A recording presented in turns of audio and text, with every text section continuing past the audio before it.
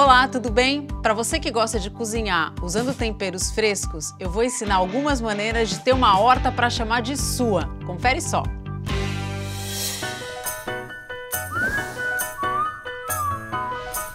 Eu vou fazer uma horta móvel nesse carrinho de chá. Assim, os temperos vão tomar sol na parte externa do quintal e quando tiver churrasco, eu trago a horta para a área da churrasqueira para os temperos estarem sempre à mão. Eu vou começar fazendo a camada de drenagem dos três andares do carrinho.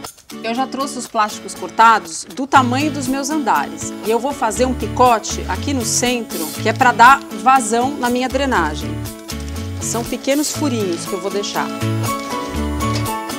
Agora eu vou colocar um pouco de pedrisco, que é o começo da minha camada de drenagem.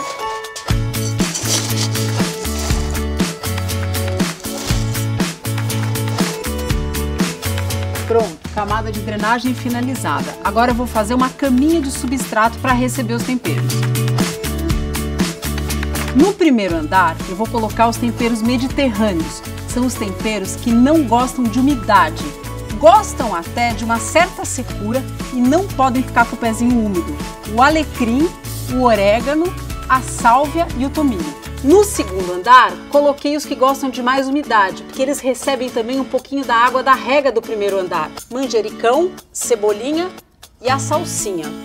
No último andar, eu coloquei os temperos que gostam de andar sozinho, que é o caso do hortelã e das mentas em geral. E a dica final, você vai pegar uma casquinha da sua laranja do limão, se você tem um gatinho ou um cachorro em casa, e coloca dentro da sua horta. E esse cheiro cítrico vai afastar os gatinhos da nossa horta. Mas tem que lembrar de colocar sempre, porque logo depois, dois ou três dias, ela perde esse cheiro e o gato já logo quer se aproximar da sua horta.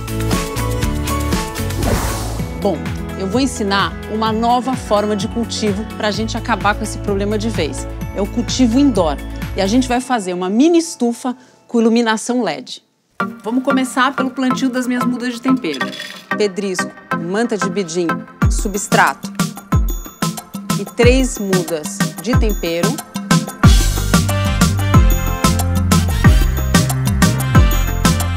Eu estou colocando mudas pequenas de tempero para a gente observar o plantio. E quando elas crescerem e estiverem chegando próximo da fita de LED, tá na hora da gente cortar e aproveitar o tempero que a gente está colhendo. Agora está na hora de preparar a nossa estufa. A luz de LED, ela vai simular a nossa luz natural. As plantas precisam de fotossíntese para sobreviver. E a fita Full Spectrum, ela simula os três raios de luz necessários para as plantas crescerem. Na verdade, são eles branco, vermelho e azul. Então, com a fita de LED Full Spectrum, você pode cultivar qualquer tipo de planta. Agora eu vou colar a minha fita de LED aqui na minha estufa.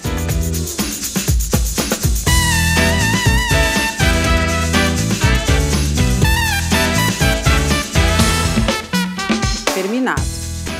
Super fácil, ó, ficou uma pontinha aqui que eu vou plugar a minha fonte e a gente vai colocar na tomada. O que, que eu preciso saber da minha mini estufa? Eu vou simular a luz do sol.